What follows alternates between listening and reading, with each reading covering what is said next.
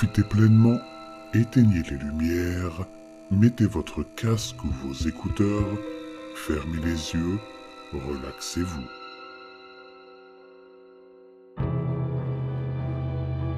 J'ai invité cinq amis, un de trop est arrivé.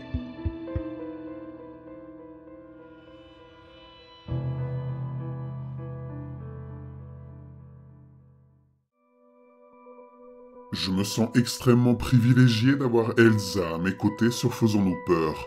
Et lorsque j'ai préparé cette vidéo, j'ai ressenti une forte émotion en me retrouvant à travailler avec les voix de Récits Fantastiques et de Sony, en plus de la sienne.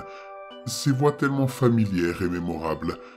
Je ressens beaucoup de joie, de privilège, d'excitation, de fierté et pas mal de trac aussi.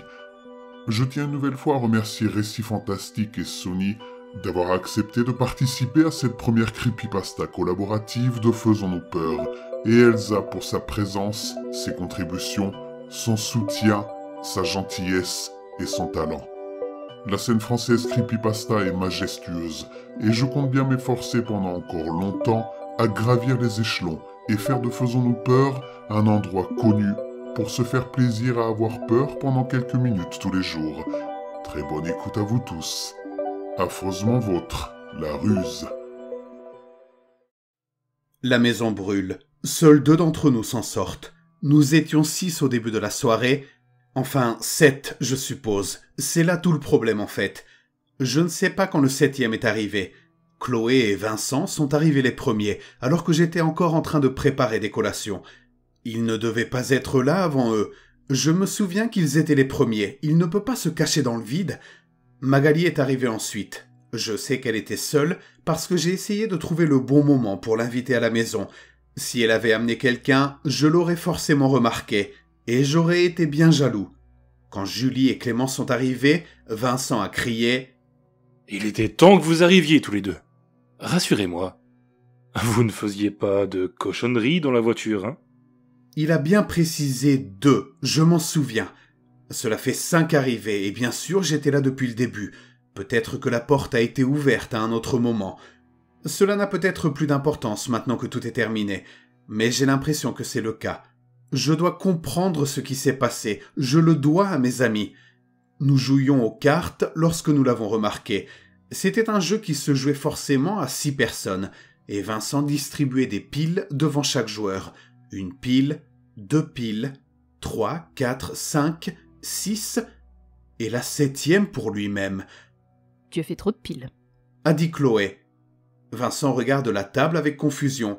Il y avait des cartes devant chacun d'entre nous, et il y avait sept piles distinctes, C'est bizarre. Je ne sais pas ce qui s'est passé.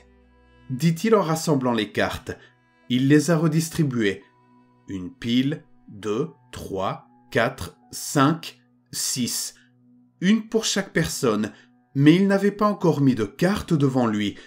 Avec un petit rire nerveux, Vincent dit Bon, qu'est-ce que je fais de travers?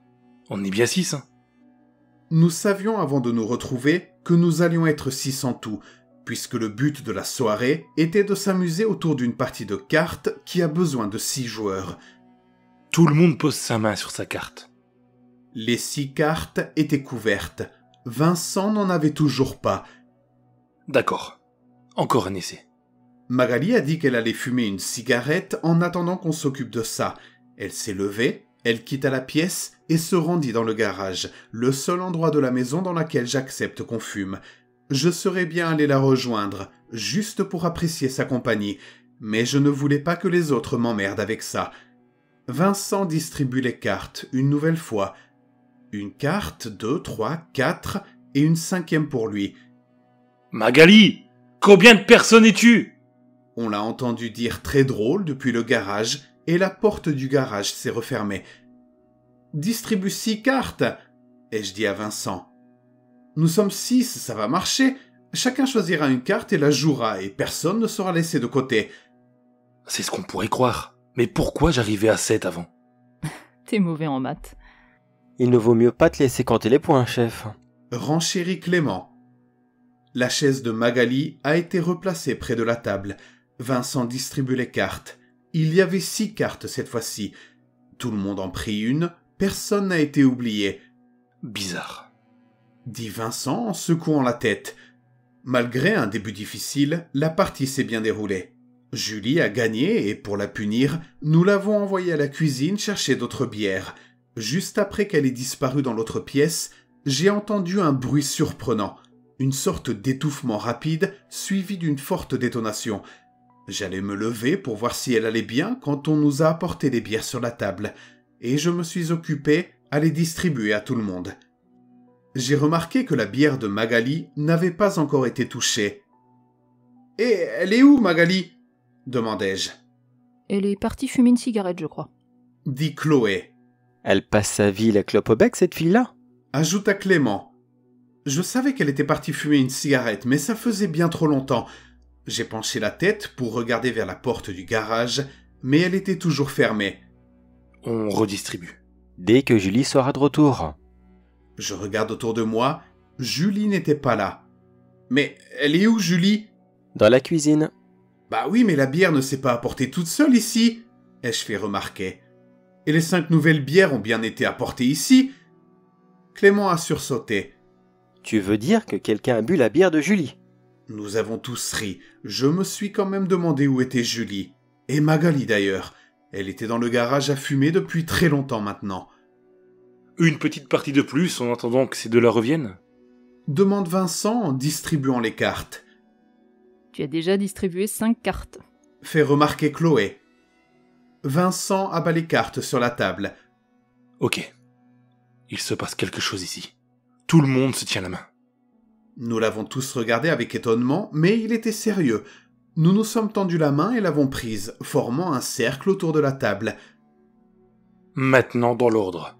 Tout le monde dit le nom de la personne qui se trouve à sa gauche. Mon nom a été prononcé. J'ai regardé à gauche et j'ai dit Clément. Chloé Vincent. Et je suis à côté de Adrien. A dit Vincent en me faisant un signe de la tête. Attends Mon nom a déjà été prononcé ai-je objecté? Essayons dans l'autre sens. À droite. Le nom de Vincent a été prononcé. Il l'a fait suivre de Chloé. Clément. Adrien? Et Vincent? Non, j'ai été nommé en premier. Nous nous sommes regardés. Je sentais sa main dans la mienne. Je le voyais à côté de moi. Regarde la table. Pourquoi il y a une bière supplémentaire entre nous? On va prendre une photo? Comme ça on verra tout le monde en même temps. Il a posé son téléphone sur la table. Nous avons tous reculé, nous nous sommes enlacés et nous avons souri. La photo s'est prise. Nous nous sommes rassemblés autour de la table pour la regarder, C'est toi, moi, toi et moi. dit Clément en montrant du doigt. Nous sommes quatre. Personne d'autre. Vincent a étudié la photo un instant. Ce n'est pas un selfie. Qui a pris la photo? Julie Magali, ai-je dit au même moment? Nous avons tous regardé dans la pièce. Aucune d'entre elles n'était là. Elle s'amuse à nous faire une blague, non? Je vais voir. Je pense qu'on devrait y aller tous ensemble. Venez. Nous sommes entrés en groupe dans la cuisine. Elle était vide. Ça sent pas le gaz? Demanda Chloé.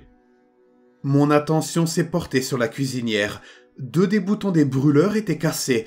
Je les ai repérés sous les armoires à proximité, comme si quelqu'un les avait poussés pour qu'on ne les remarque pas. Il y avait aussi une bosse dans le métal du bord, Julie a dû faire tomber quelque chose sur la cuisinière. a dit Vincent en se rendant sur place pour éteindre le gaz. Vincent n'arrivait pas à remettre les boutons à leur emplacement initial. Je me suis porté volontaire pour les remettre en place, mais les boutons étaient trop cassés pour que je puisse les tourner. Le gaz commençait à nous donner un mal de crâne. J'ai saisi la cuisinière pour l'extraire du mur et fermer la ligne derrière elle. Mais elle était étonnamment lourde. Quelqu'un s'est amusé à remplir la cuisinière avec des pierres ou quoi? demandai-je sarcastiquement en ouvrant la porte du four. Le corps de Julie était entassé à l'intérieur, les membres pliés et repliés sur eux-mêmes pour la faire tenir. Une mare de sang remplissait le fond du four, se répandant péniblement d'avant en arrière à cause de mes tentatives pour déplacer l'appareil. La plus grande partie du sang semblait provenir de sa tête, qui avait été violemment écrasée. Ses yeux étaient exorbités et me fixaient.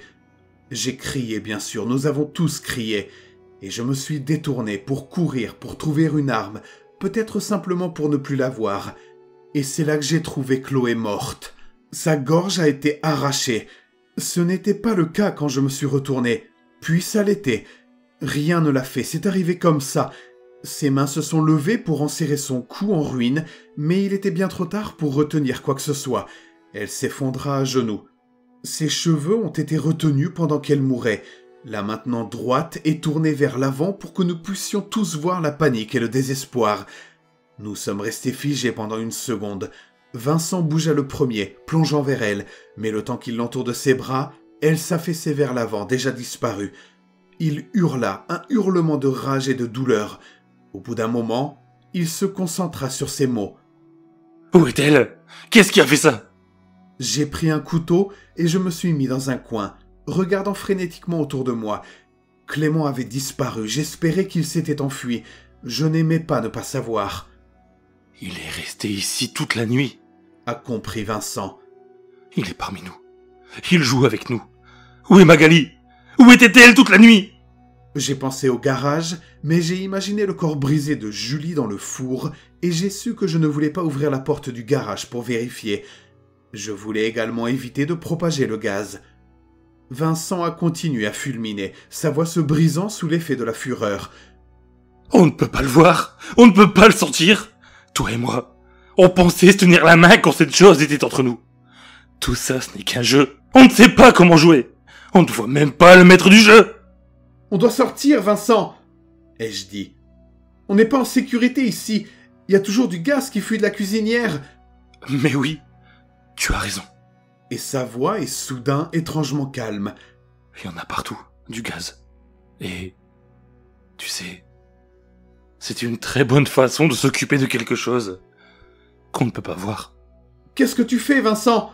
Il fouilla dans sa poche et en sortit un briquet. La porte du derrière est juste là, Adrien.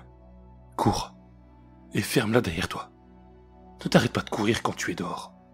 Vincent Je suis désolé pour ta maison, Adrien. Cours. J'ai fait un pas vers lui. Vas-y Si tu ne pars pas maintenant, je le ferai pendant que tu es encore là. Je devrais probablement le faire de toute façon. C'est la meilleure façon d'être sûr. Je me suis précipité vers la porte quand il essayait d'allumer le briquet. J'ai réussi à sortir avant que la cuisine explose. J'avais la main sur la poignée pour fermer la porte quand un rugissement de chaleur et de lumière a claqué la porte et m'a projeté dans les escaliers sur ma pelouse. Les fenêtres ont explosé dans des jets de flammes, me bombardant de verres brûlants. J'ai rampé dans l'herbe, cherchant désespérément à m'éloigner. Mon dos me brûlait et j'ai roulé pour l'éteindre. La maison est manifestement perdue, mais j'ai quand même appelé les pompiers. Je ne savais pas quoi faire d'autre. Je ne sais pas ce que je dirai à la police lorsqu'elle trouvera les corps à l'intérieur. Je ne sais même pas combien elle en trouvera.